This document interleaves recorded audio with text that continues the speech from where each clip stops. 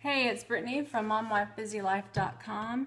If you didn't get a chance to see my girls do their color changing milk experiment, be sure to check that video out and see how they did theirs. They used Q-tips in their video, but I wanted to show you the cotton ball method. So you pour a some milk onto a plate, as seen right here. Dip a cotton ball into some dish soap. Let's see if you can see that. Let me pull it up over here.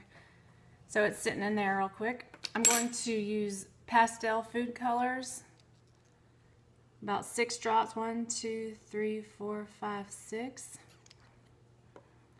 And then one, two, three, four, five, six.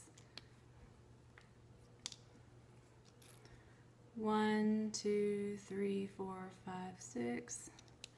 And finally, I don't think I did this one, did I? One, two, three, four, five, six.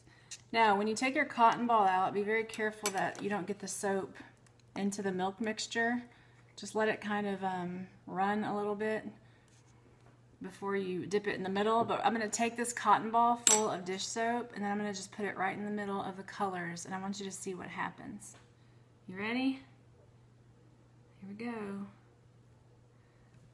Wow. So check that out. Just watch for a minute and see what happens with it.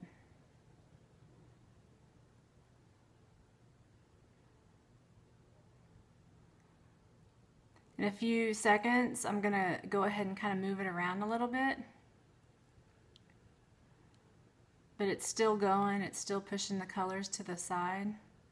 So watch what happens when I kind of move it over Look at those colors. Isn't that neat? This is such an easy experiment that you can do with your kids. And like I said, it only requires milk, a plate, dish soap, some food coloring.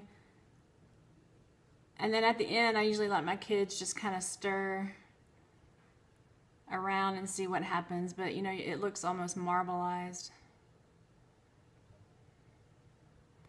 And at the very end, the color is just going to be a solid Usually ours ends up looking purple, like a dark purple color.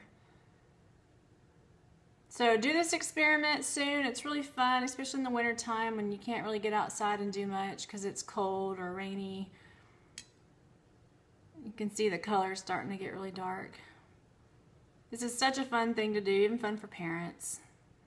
So head over to momwifebusylife.com, subscribe to my channel to find more great videos in the future. Thanks for watching.